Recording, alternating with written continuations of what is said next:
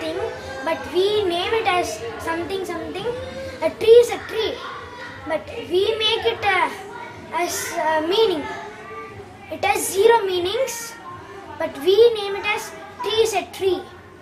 Uh, Sukumar's name is Sukumar, but it's a just a soul, Okay. and everything we only make it a meaning. There Uh-huh. is zero meaning it it has. Okay.